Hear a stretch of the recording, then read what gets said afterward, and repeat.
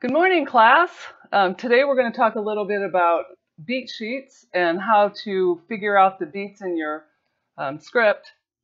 Uh, what I know I've given you a lot of information on structure, on story structure and how to structure your film and things like that. And I promise you this will be the last structure lecture that we have. But I just can't um, tell you enough how important structure is and, and planning out your script before you even write it. So um, first of all, I want to tell you what a beat sheet is. You guys know what beats are for stories. It's the sometimes it's the it can be considered the breath between the stories, and um, so what we have here is um, I'm going to just talk a little bit about beat sheets how to craft a good one. So first of all, we're going to talk about what a beat sheet is. So beat sheet, as in the beat of each story point, is a list of short bulleted descriptions about each of your scenes and the scenes in your story. So you can just do um, do it as a bullet point to start out with, and these things can be expanded into outlines. But it's just it can be as short as you want to. It could be one sentence, one bullet point sentence, or it could be you know if you're a, kind of a talky writer, you can write more. I'm very verbose myself. It's tough for me to be concise, so I have to keep rewriting stuff to make it short.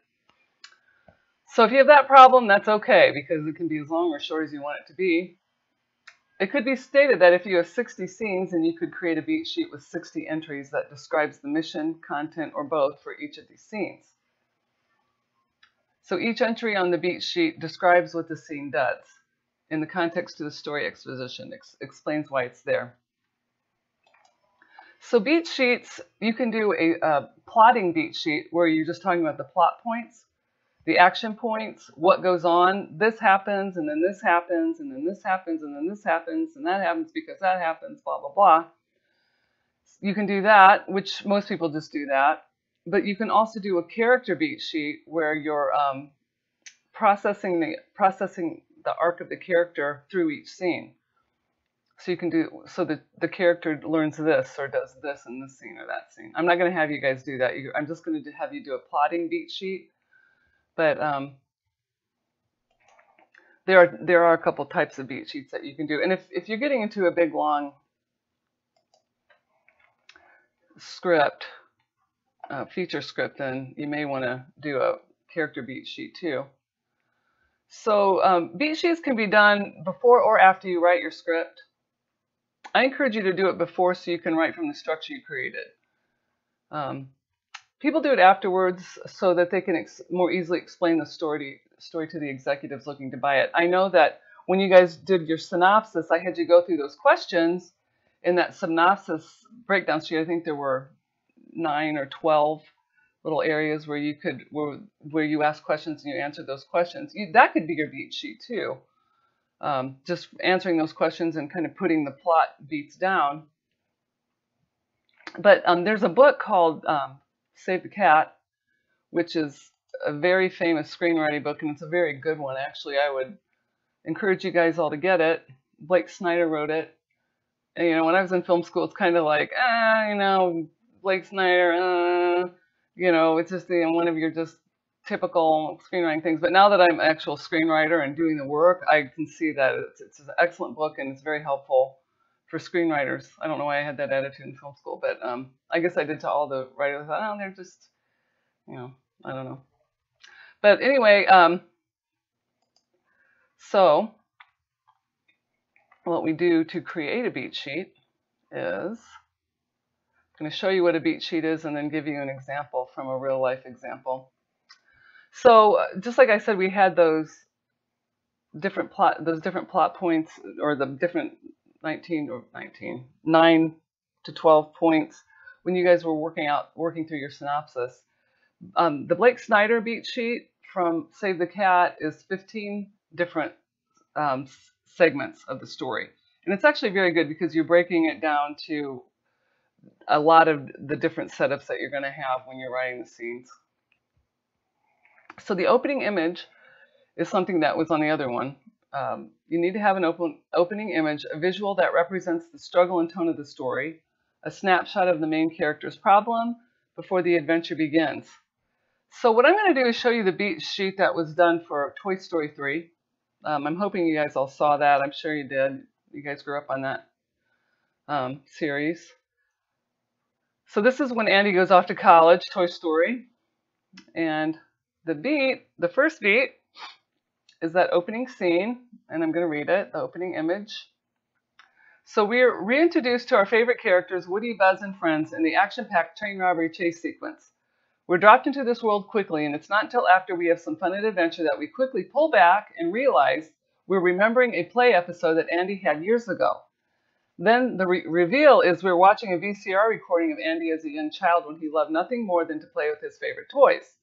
This nostalgic moment seems like so long ago, and our tour character characters long for the attention they once had. That was a really great way to open up that story for us to remember what the other ones were like, and to know put you in the setting of you know where we're at now with um, Andy and his toys. So then the setup, the second thing you do is expand on the before snapshot, present the main character's world as it is, and what's missing in their life. So we got life normal, eh, but but what's missing? There's there's got to be something that they can go go to. So then for Andy, what we do is the theme stated Woody tells Buzz that they belong to Andy and that they will always be his friends. They must go to college with him and never lose this bond of loyalty and friendship that they have with their owner. Okay, so that's the theme stated. That's what they're so that's what these toys are going to go for through this entire thing. They're going to try to get Andy to love them and take them to college with them. So the theme stated what what it's what your story is about, the message, the truth. Usually it is spoken to the main characters or in their presence, but they don't understand the truth, not until they have some personal experience and context to support it. Okay. So then the next one would be the catalyst. Now that's the moment where life as it is changes. We go from the normal life, it's the telegram, the act of catching your loved one cheating, allowing a monster on board the ship, meeting the true love of your life, etc. The before world is no more, the change is underway. We normally, the catalyst we call the inciting incident. Um, there's a bunch of different ways we can call it, but it's, it's the inciting incident basically. So the catalyst for Toy Story is Toy Story 3. So the catalyst, oh, we didn't do the setup. Okay, the setup, we'll do the setup first. Sorry about that. Andy is now 17 and is going to college. Andy doesn't need his toys anymore. In fact, the only way our toys can grab his attention is by pretending to call him on his cell phones in hopes that he will discover them in the toy chest and play with them like old times. Andy is going to college in only a few days, and by his mother's request, he must organize all the old stuff in his room into piles. Stuff that should go into the attic, stuff that goes into storage, stuff that is no longer needed and should be tossed into the garbage, and lastly, stuff that will go to college with Andy in a few days. Our toys are panicked. Why doesn't Andy care about us anymore? Why doesn't he want to play with us anymore? Will they be tossed aside forever and forgotten? They all hope desperately to be chosen for the college pile so that they will stay part of Andy's life forever. So, so we see what the setup is. So now Andy has to decide whether he's going to keep him or not. So we can see the theme that they want to stay with stay with them, but now Andy gets to decide whether he stays with them. So they're all in a panic. So that creates the tension. Okay, so then there's a debate because um, the catalyst pushes, the inciting incident pushes our character to change, then they have to decide whether or not they want to change with it or, or stay in the status quo. So there's a debate going on inside of them. And Blake Snyder calls this the debate. He says, change is scary for a moment a brief number of moments. The main character doubts the journey they must take. Can I face this challenge? Do I have what it takes? Should I go at all? It's the last chance for the hero to chicken out. So we'll just do these two at a time so I don't have to keep flipping back. And then the sixth one is breaking into two, which means usually there's a climax up to Act 2. So this is Act 1. The main character makes a choice and the journey begins. We leave the thesis world and enter the upside down opposite world of Act 2. So um, before Act 2, there should be a reversal. the first reversal. There should be at least three reversals where things are going good and then they go bad, or things are going bad and then they go good. There should be a reversal right before Act Two. So, um, so right here, breaking into two, this is where the character makes a choice to to go on the journey, to do something different than where they were before. Okay, so for Toy Story 3, the catalyst or the inciting incident so it says, because the toys want to be part of Andy's life forever, however, this isn't exactly the case. There's a mix up. Andy is cleaning his room and making the various piles that his mother spoke of when he puts the majority of his toys in the pile meant for the attic. This plastic bag is then misinterpreted as junk by Andy's mother and taken outside and put by the road to be taken away by the junk man. The toys are devastated, and they think Andy's trying to get rid of them. They are convinced that they mean nothing in Andy's life, and this is the worst possible case scenario for them. However, when they see that Woody was chosen for the college pile and he's and that he saw Andy put the toys in the attic pile, and thus he knows that Andy still cares about them. Woody must rescue his friends from the junk pile. I'm getting choked up. Before they are taken away to the junkyard, never to be seen again. Woody to the rescue. Woody jumps out the window, scales the house, and sees that the garbage truck is just full of and is taking away. I remember this movie. I think it's funny. Taking away the junk pile. He runs after the truck and tries to stop it. Panicked that his friends have been taken away, when looking over, he sees that they have escaped to the recycle bin, where they are in retreat to safety in the garbage. Okay, so then the debate. Convinced that they are no longer wanted, the toys find their way back into the minivan, into a new pile of belongings, meant for sunny day care facility. The debate is this. Woody says that Andy didn't mean to put them in the junk pile and thus still cares about them. All of the other toys don't believe this, and they think that the only way that they can continue to feel loved and played with by a child is by going to Sunnyside. Woody warns against this. We belong to Andy. We always have, and this is how it has to be. That our other toys don't listen. At least at Sunnyside, they will have someone who cares about them and who will play with them on a daily basis, unlike Andy. Dramatic question posed in this debate is Is Sunnyside a good place? Should toys turn their back on Andy and give up on the idea of going to college with them? Does Andy care about them anymore? Did he really put them in the junk pile? All these are questions that fuel and propel our second act as well as the conflict resolution in the third act. They are specific and hold both emotional and physical stakes to each of our characters. I thought they did this really well in that movie. It was so touching. Okay, so the next one, the next questions are, so B story. So they always um, want you to have a side story or another storyline kind of going on the side that um, goes along with the, the main story. So the B story, here he says it's usually the love story. If there's a if there's another main plot, say he's trying to save the world, the love story would be the B story. So it says this is when there's a discussion about the theme the negative truth, usually this discussion is between the main character and the love interest. So, the B story is usually called the love story. But it could be other things too. It's just the side story that supports the main story. In a, in a, short script, you, a lot of times you don't have a B story. Um, you can, if, you're very clever and can do that, that would be good. But uh, in, in, but in a feature, it's probably good to have one keeps it more interesting. And then you can add complications through that. Then the promise of a premise. Um, this is when, I don't know who Craig Thomas, relationship with Rihanna blooms, when Indiana Jones tries to beat the Nazis to the Lost Ark, when the detective finds the most clues and dodges the most bullets, this is when the main character explores the new world and the audience is entertained by the premise they have been promised. So this is when the um, protagonist starts acting on his journey. This is when he really starts making choices and starts moving um, the narrative ahead by what he does. So we'll look at those two on Toy Story 3. So Toy Story 3, the B story. So the B story is Woody heads out on a journey to get home to Andy. And of course, there are complications. He gets stuck in the bathroom. He tries to fly away via the roof and then gets caught in a tree, noticed by a little girl, Bonnie, who attends Sunnyside. She is intrigued with Woody and takes him home with her.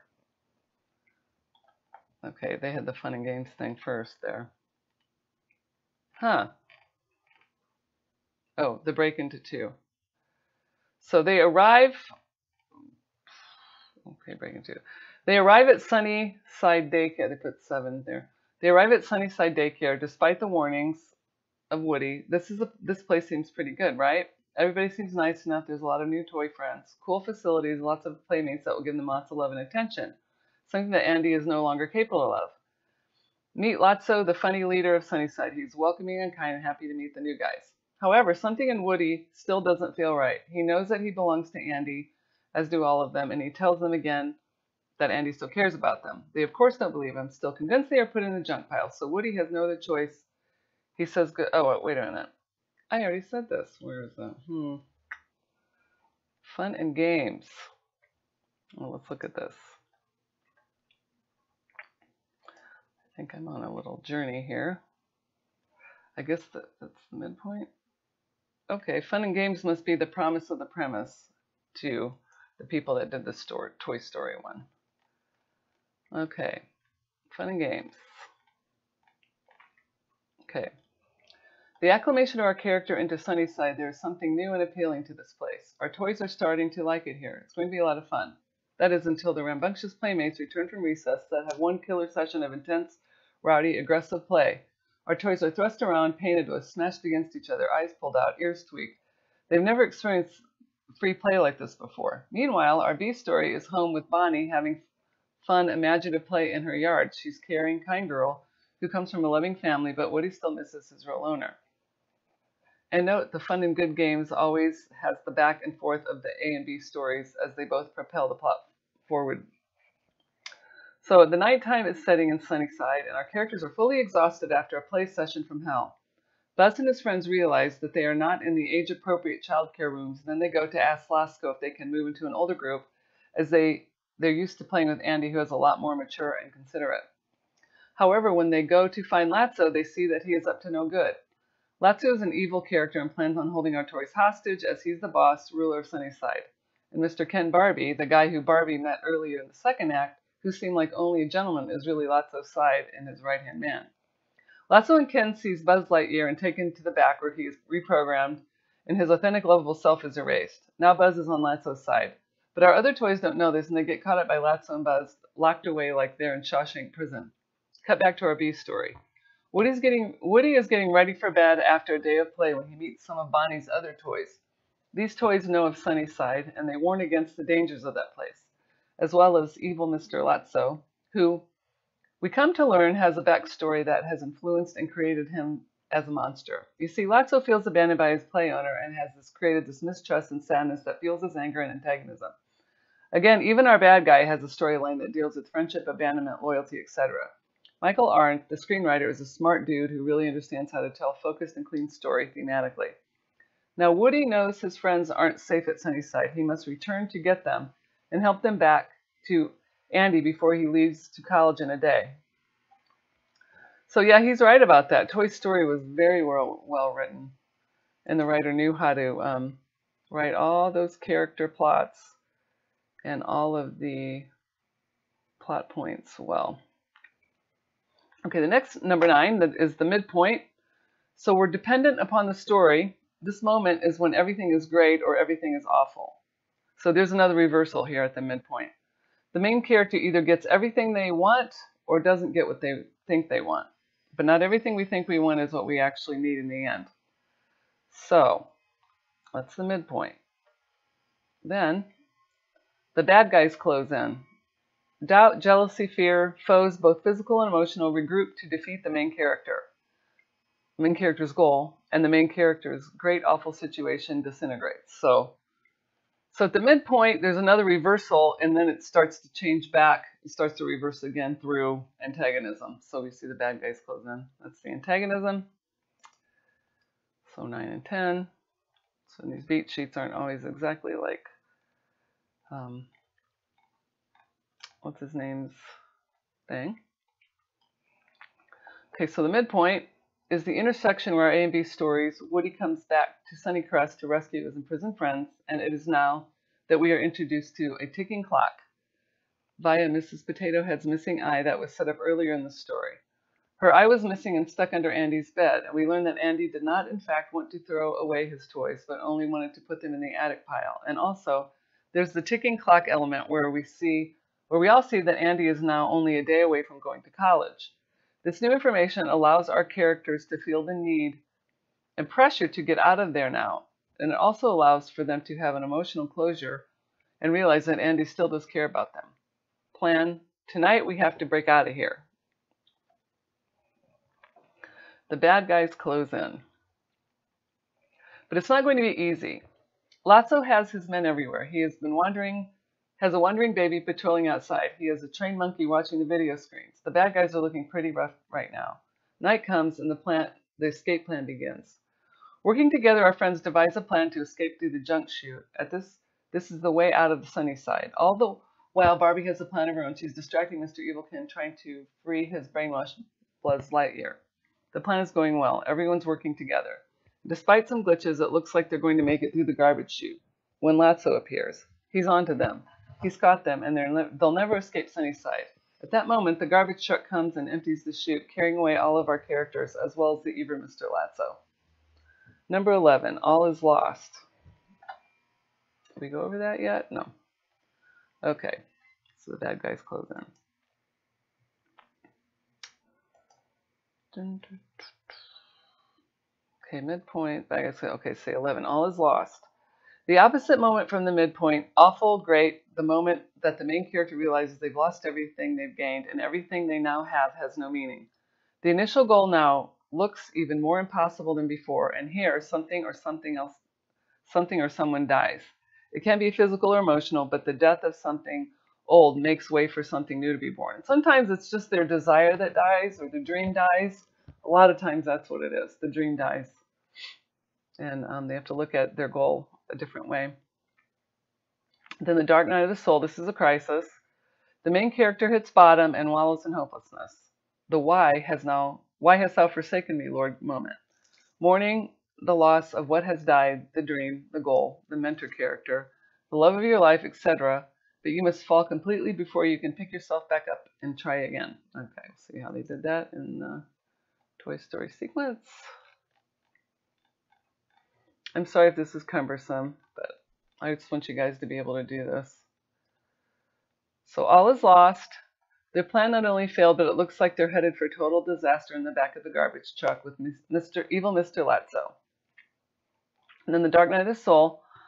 If things could get any worse, our characters are now taken away to the junkyard and headed right for the junk fire as Lotso torments and delights in their situation.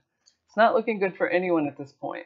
Their goal of getting back to Andy will never be reality, and it looks like Lotso is going to win. And they are whisked away into the junkyard fire. However, Okay.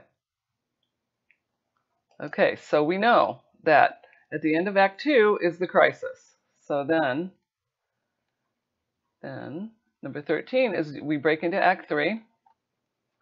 Um, thanks to a fresh idea, a new inspiration, or last minute thematic advice from the B story sometimes, sometimes a B story, sometimes other, other places, the main character chooses to try again.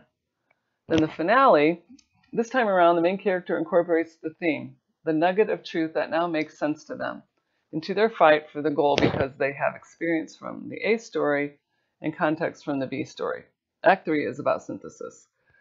So this is would be the final showdown. um, this is breaking into three. Act 3 is when they get their aha moment and their realization about themselves, as we talked about before. Then the finale is the final showdown. Then the final image opposite of the open image, um, proving visually that change has occurred within the character. Okay, we'll end with Toy Story 3. Brother. Okay.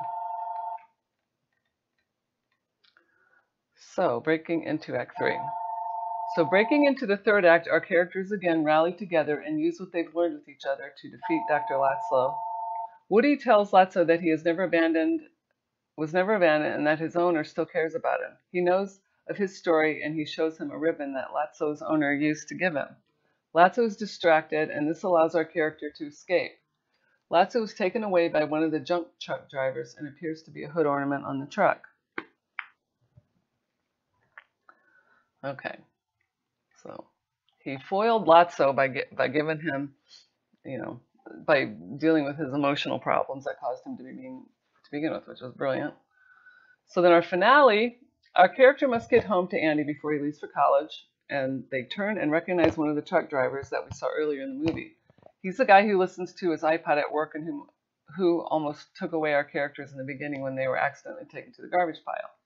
Our character knows the garbage guy is on Andy's route, and thus this is their way home. Again, fantastically clean and specifically tight writing from Michael Arndt. Everything is set up and payoff is a setup and payoff. Everyone returns home to find Andy. Our characters now realize that Andy still cares about them and that they are will be happily in the attic as they will have each other. Woody returns to his chosen spot in the college pile and everyone else jumps in the attic box. However, there's an emotional beat here with Andy's mother. Again, this perfectly echoes and reiterates our theme. Andy's mother is sad that he's leaving for college. She doesn't want her beloved son to leave, and she's having trouble coming to terms with the separation. I always want to be part of your life, Andy, the mother tells him, trying to choke back tears. This heartfelt and inspirational word changes something in Woody, who jumps from the college pile. Woody knows that he doesn't want to be separated from his other friends and that he must do something quickly to change this. Woody jumps on the attic box and we see him writing something. The final image. It's Bonnie's address that Woody just wrote. And all of our characters still in the box are scooped up by Andy and taken to Bonnie's house, where Woody has already been, and he's seen what a kind young girl Bonnie is. She lives in a loving family, and she will be appreciate. I'm to choke up. And she will appreciate them as all his toys. I did that. I cried during the movie. Andy introduces Bonnie to all his toys. They have a play session together. And we know what Bonnie will be in the perfect person to inherit these amazing characters. and thus we come a long way from our opening image. We start our movie watching Andy as a young kid, playing with his favorite toys, and now the baton has been passed, and we've introduced a new life to characters for all our toys. They all get to stay together, and just as Annie's going off to start a new life with new friends, our toys will be doing the same. So there we have it. I can't believe I cry at this movie every time. I cried when I watched the movie, and I'm crying when I'm reading the script. But anyway, so um, those 15 points, I gave you a sheet um, for the 15 point beat points that you can do your story and to try to work out the beat points for your story before even before you get the whole thing writ written down. It'll just be another way to help you organize your story. So that will be the homework for um, next Wednesday, actually, because you have Monday off for a semester break. So that will be due next Wednesday. And what I really, I, I don't want you to keep writing, doing extra homework because I want you to start writing your scripts and get going on those. So, um, so that will be the last homework. I'm, we're going to be doing a class on how to write um, good characters, but there won't be any homework on that. We'll just hope that you incorporate all that stuff into your script. So anyway, that's all I have for um, today. And so the rest of the day we can just go over you guys' um, scene writing, which I, like I said before, you guys are doing a great job on. And uh, we'll see how everybody else is, is. Kind of fun for me, but hopefully you guys enjoy it too. I love listening to your stories. So, all right, we'll see you there.